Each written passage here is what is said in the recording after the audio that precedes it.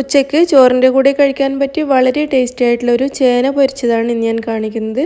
വളരെ സിമ്പിളായിട്ടുള്ളൊരു റെസിപ്പിയാണ് ആർക്കും വളരെ പെട്ടെന്ന് തന്നെ ഉണ്ടാക്കിയെടുക്കാൻ കഴിയും. ഇതിനു വേണ്ടി ഞാൻ എടുത്തിരിക്കുന്നത് അര കിലോഗ്രാം ചേനയാണ്. ഇത് നീളത്തിൽ കുറച്ച് നേരിയതായിട്ട് ഇതുപോലെ കട്ട് ചെയ്തെടുത്തിട്ടുണ്ട്. പിന്നെ ചേന കട്ട് ചെയ്ത് കഴിഞ്ഞാൽ ചില ആളുകൾക്ക് കയ്യിൽ ചൊറിച്ചിലുണ്ടാവും. അപ്പോൾ കട്ട് ചെയ്യുന്നതിന് മുന്നേ കയ്യിൽ അല്പം വെളിച്ചെണ്ണ പുരട്ടിയിട്ട് കട്ട് ചെയ്യുകയാണെങ്കിൽ ആ ചൊറിച്ചിൽ കുറേയൊക്കെ ഇല്ലാതാക്കാൻ കഴിയും. ഈ ചേനയിലേക്ക് ഒരു ടീസ്പൂൺ മുളക് പൊടി ചേർക്കാം. കാൽ ടീസ്പൂൺ വരെ മഞ്ഞൾപ്പൊടി. അര ടീസ്പൂൺ വരെ ഉപ്പും കൂടി ചേർക്കാം. ഇതെല്ലാം കൂടി നന്നായിട്ടൊന്ന് മിക്സ് ചെയ്തെടുക്കുക. മുളക് പൊടിയും ഉപ്പും മഞ്ഞൾപ്പൊടിയും ഒക്കെ ചേനയിലേക്ക് നന്നായിട്ട് യോജിപ്പിച്ചെടുക്കുക. എന്നിട്ട് ഈ മസാല പുരട്ടിയ ഉടനെ തന്നെ നമുക്കിത് ഫ്രൈ ചെയ്യാൻ വെക്കാം. ഇത് വെച്ചിരിക്കുകയൊന്നും വേണ്ട. ഇത് ഫ്രൈ ചെയ്യാൻ വേണ്ടി ഞാനൊരു ഫ്രൈയിങ് പാൻ അടുപ്പത്ത് വെച്ചിട്ടുണ്ട്. ഇത് നന്നായിട്ട് ചൂടായി വരുമ്പോൾ ഇതിലേക്ക് മൂന്ന് അല്ലെങ്കിൽ നാല് ടേബിൾ സ്പൂൺ വരെ വെളിച്ചെണ്ണ ചേർക്കാം. വെളിച്ചെണ്ണ ഒന്ന് ചൂടായി വരുമ്പോൾ നമ്മൾ മസാല പുരട്ടിയ ചേന ഇതിലേക്ക് ഇട്ട് കൊടുക്കാം. എന്നിട്ട് വെളിച്ചെണ്ണയിലേക്ക് ചേന നന്നായിട്ടൊന്ന് യോജിപ്പിച്ചെടുക്കുക. നന്നായിട്ടൊന്ന് മിക്സ് ചെയ്തെടുക്കുക. അതിനുശേഷം ചേന ഈ ഫ്രൈങ് പാനിലേക്കൊന്ന് നന്നായിട്ട് നിരത്തി കൊടുക്കുക. എന്നിട്ട് നമുക്കിതിവിടെ അടച്ചു വെക്കാം. ഇത് ചെറിയ തീയിൽ നമുക്കിതുപോലെ അടച്ച് വെച്ച് വേവിക്കുകയാണെങ്കിൽ ചേന നന്നായിട്ട് വെന്ത് കിട്ടും.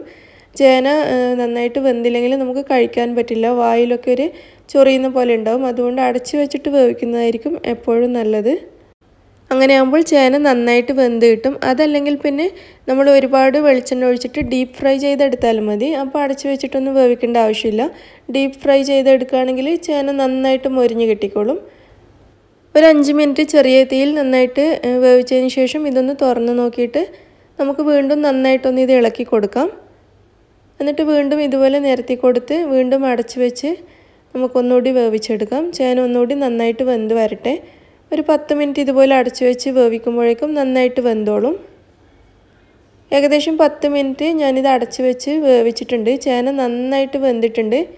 ഇനി നമുക്കിത് വെളിച്ചെണ്ണയിലിട്ട് നന്നായിട്ടൊന്ന് ഫ്രൈ ചെയ്തെടുക്കാം. ഒന്ന് ക്രിസ്പി ആയിട്ട് വരാൻ വേണ്ടിയിട്ടാണ്. നമ്മൾ അടച്ചു വെച്ചിട്ട് വേവിക്കുന്ന സമയത്ത് ചേന ഒന്ന് സോഫ്റ്റ് ആയിരിക്കും. അപ്പോൾ കുറേ സമയം ഇതുപോലെ ഒന്ന് ഇളക്കി ഇളക്കി ഫ്രൈ ചെയ്തെടുക്കുകയാണെങ്കിൽ ചേന നന്നായിട്ടൊന്ന് ക്രിസ്പി ആയിട്ട് കിട്ടും. അതിന് വേണ്ടിയിട്ട് ഇങ്ങനെ നന്നായിട്ട് ഇളക്കി ഒന്ന് മൊരിഞ്ഞു വരുന്ന സമയത്ത് ഇതിലേക്ക് അല്പം കറിവേപ്പില ചേർക്കാം.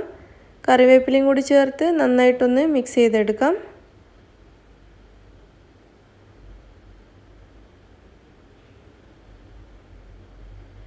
നമ്മുടെ ചേന ഫ്രൈ ഇവിടെ റെഡി ആയിട്ടുണ്ട്. ഇനി ഇത് നമുക്ക് അടുപ്പത്തുനിന്ന് മാറ്റാം. അങ്ങനെ വളരെ എളുപ്പത്തിൽ ഉണ്ടാക്കാൻ കഴിയുന്ന വളരെ ടേസ്റ്റി ആയിട്ടുള്ള ചേന പൊരിച്ചത് റെഡി ആയി കഴിഞ്ഞു. വളരെ എളുപ്പമാണ് ഇത് ഉണ്ടാക്കാൻ ഉച്ചക്കൊക്കെ ചോറിന്റെ കൂടെ കഴിക്കാൻ വളരെ ടേസ്റ്റുമാണ്. നിങ്ങളെല്ലാവരും ട്രൈ ചെയ്ത് നോക്കിയിട്ട് അഭിപ്രായം അറിയിക്കുക. താങ്ക്